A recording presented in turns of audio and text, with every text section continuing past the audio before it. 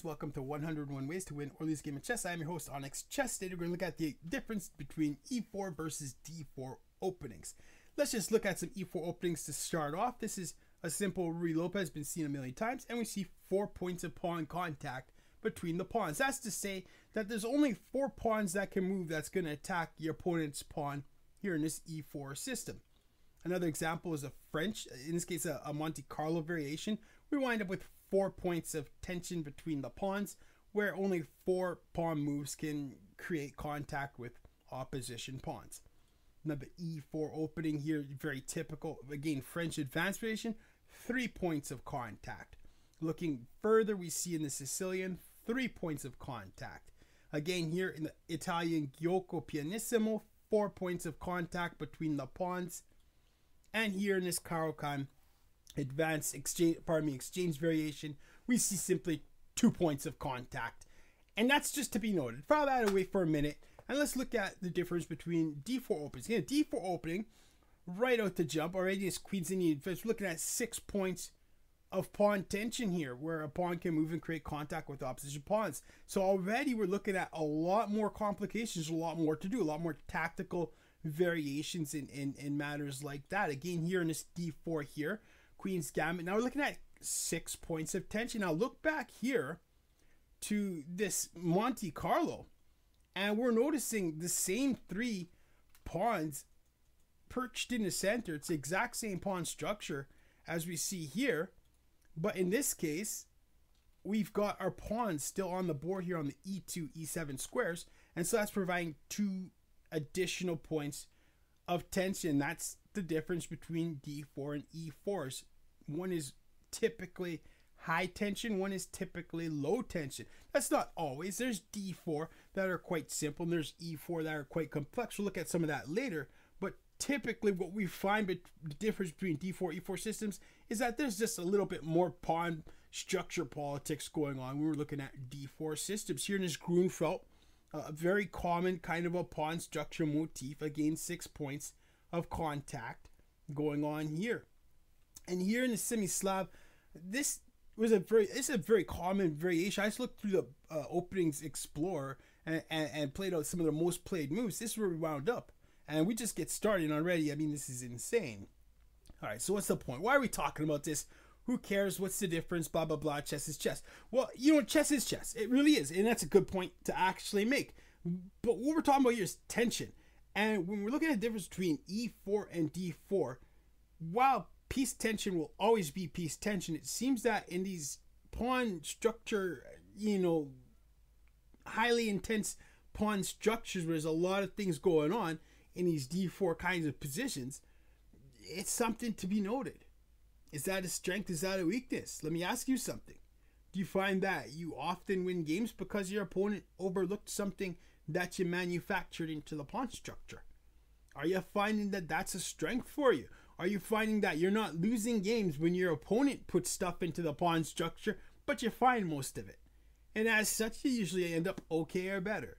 If, if you're finding that you're a pawn structure, you know, connoisseur, if you're finding that you're proficient with the pawn structures, then a high tension pawn structure is going to be to your advantage. That's usually going to meet play like a D, try D4, try it out and see how you do because to people that don't really like pawn structure politics, it's it's a nightmare. They, they it's I mean they might you know be very well versed at how to calculate a sharp position where there's lots of piece trades and I'll trade here, you'll trade there, okay, there, there, trade the bishop knight. Oh, okay, I'll stand better. I'll be okay. I'll do that. Yeah, let's do that. You know, and they might be very good at that. But if they're not appreciating what happens if a pawn moves, if a pawn doesn't move, if a pawn takes, if a pawn doesn't take, if a pawn moves past, etc., yeah, you're going to have a very, very strong advantage over those kinds of players. All right. And so that's where the discussion between E4 and D4 is actually turning valuable. Now it's not just a simple little debatable, ah, you know, what's better, what style you got. No, let's be very specific. If you're in the mood for something more complicated, definitely check out D4, but I'm going to change it up. I don't want to say D4 anymore. I'm just going to say high tension. Here's why. This is an E4 game right here. this started out as this is a Sicilian, but it's a closed Sicilian. So instead of going the typical variation where we see something like this and something like that, something like that, something like that, something like that, and there's three points of tension, instead here in this Sicilian we play E4, then D3. And after D3, we see that this actually turns into a D4 esque kind of opening. This is a high tension opening.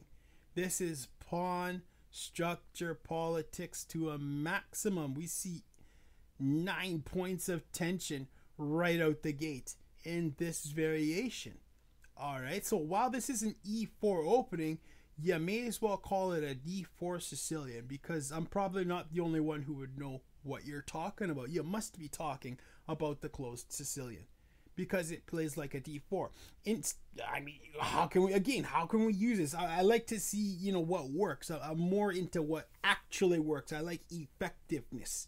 Hey, all right, so already, if you find that you love the pawn structure of the D4 kinds of openings, of high tension openings, and you also find you like the Sicilian. Let's say you've played Sicilian and you've played tens of thousands of Sicilian games and you know where all the pieces are and you know where they go. Well, this is still comparable.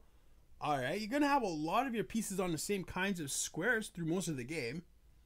However, you're going to have that added benefit of, you know, adding pawn structure complications to the position. You're going to, which you couldn't do in an e4 because there's only a very limited amount of tension that you can provide and manipulate, you see. So here you can bake in all kinds of complications into this Sicilian that you couldn't do in any other one. You understand? So this is how we can say, like, yeah, if I if I feel I'm talented at, at pawn structure, hey, let me let me look at that that little close Sicilian there and see if I've been maybe been playing that Sicilian the wrong way all these years. You see, you might do very, very, very well. You understand? Further, it's not very common at all. So you're gonna be taking everybody out of book, totally and completely out of book, for the most part. You understand? So that's another big advantage. Of course, it's not without cost. All right, once you play e4 and you play d3, you resi- you you are you are actually yeah you you're resigning a lot of advantages there that you would normally get playing d4 in one go. So once you play d3, hey, know what you're getting into. You understand? You, you, you're giving up, you know, a, a fundamental advantage when you play that. You know, not only just uh, uh, telegraphing the, the development of the bishop, not only stymieing the development of the bishop, not only giving up space in the center, oh, it's just allowing space in this. It's just yuck. It's it's yuck. Okay, so I don't recommend it if it's not to your taste and it's not to your specific skill set.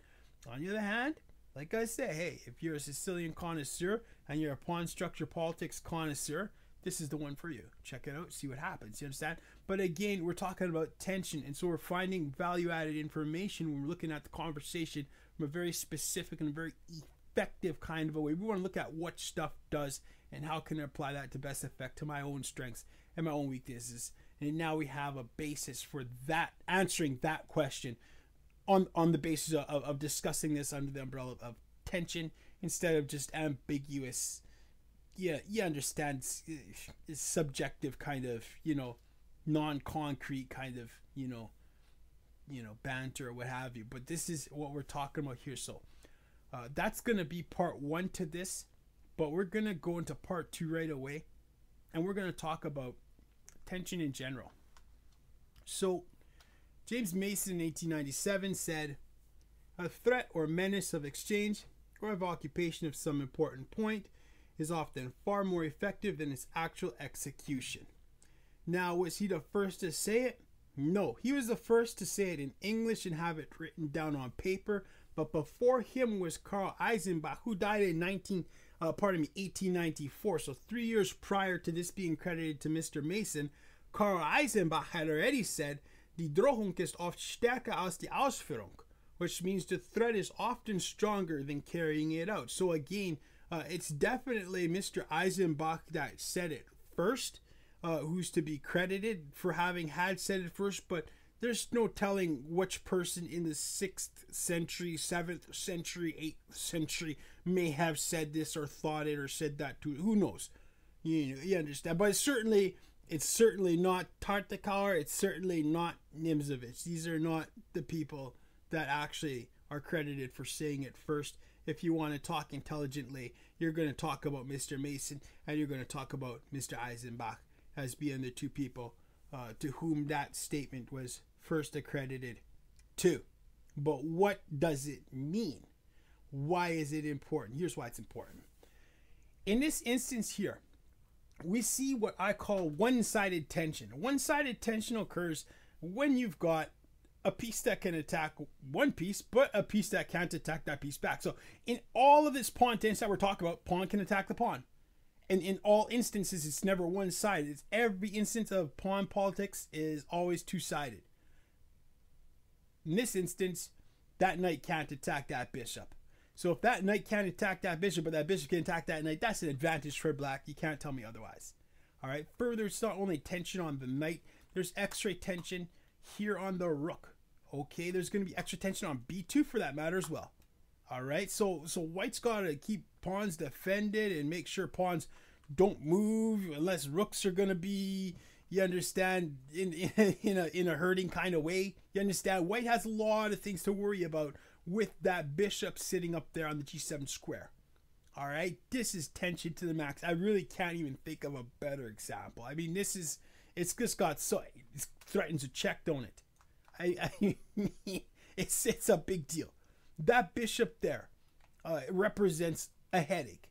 You can call it a headache, and this is actually how we pull uh, positions right apart in chess. This is actually how we win games right here, just right here, putting that bishop on g7 wins chess games. This is why. You understand? At some point, if Black can manage to to to to needle enough of these instances of threat and enough of these instances of okay, you have to watch for this, watch for that, watch for this, watch for that. White's gonna get pulled apart. You can't defend everything. At some point, there's gonna be a family fork, some kind of a fork, a pin. There's gonna be a discovery. There's gonna be a sacrifice. At some point, something has to shake loose in White's position. Black will take space. Black will take optimal squares. White, white just won't be able to hold it, and black's gonna break through. All right, so so this is why we pay close attention uh, to the tension because tension wins and loses games. Period. He can't tell me otherwise. That must be appreciated. When that bishop's sitting there on g7, it does not hurt to take a few minutes to understand exactly what it's doing and what it could do. There's nothing wrong with taking a minute to understand that and, and changing this not from a simple he hits that knight, then I do this and that. No, but like fully understand. So you're looking at that rook, you're looking at that pawn, you're just understanding fully what that bishop on g7 is capable of. We haven't even began to discuss what happens if it ends up at h6 and for good reason because probably it's not that big of a deal that's probably more advantageous for white but we would want to be looking at that too we look at everything all right so that's tension that's what it's about now this is between pieces but let's look at the final stage here and to say say hey you know what's the relevance of it all in the bigger picture? We've talked about pawn tension in the pawn politics piece tension between pieces. What are we talking about in the big picture? What does tension matter? Here's what it matters. You have to in every single variation of every single move here as white understand what happens if black decides to pull the trigger on that knight.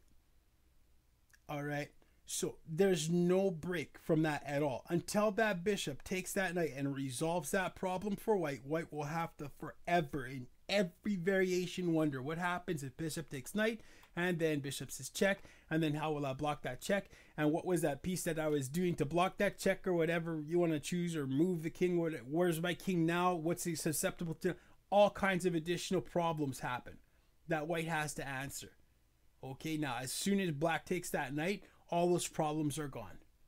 All right, but this is not to be just relegated to piece on piece tension. It gets the most attention because this is worth three points and this is worth three, arguably three and a half and three or whatever the case is. But these are worth points. That's where it gets all the, the attention. But we don't usually speak too much about the pawn tension.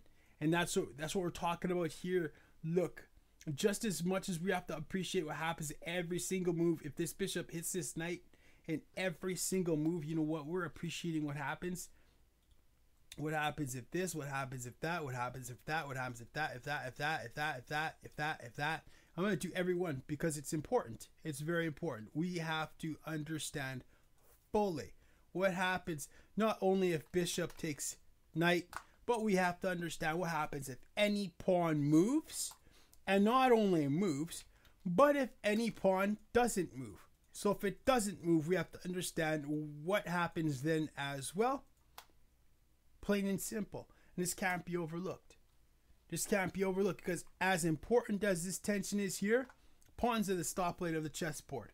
And as such, they're going to determine where every single piece is or is not effective. A rook is not a rook, a knight is not a knight, a bishop is not a bishop. These pieces are greatly maximized and minimized depending on where the pawns are placed. I watched a GM play a game uh, early in 2019, and this guy actually had the audacity to trade off both of his rooks, 10 points in rooks, for two pieces of his opponents at six points. And he almost went on to win, managed to draw, but just the fact that in that particular pawn structure, it merited trading off both his rooks just for two pieces is it's mind blowing and it really speaks to the level that these GMs are able to analyze these games on to where they can actually find these kinds of variations where most of us would simply say what a rook for a piece? Are you kidding? No that's that's just not going to happen. Not today. Surely that's losing. No it's not not necessarily there are pawn structures that's going to very much uh, justify exactly that kind of an idea. And that's what you have to look at when you're determining all right, where should my pieces be? Where should I, if I can keep my opponent's pieces, uh, you know, mitigated to, you know, weak squares, what squares would those be?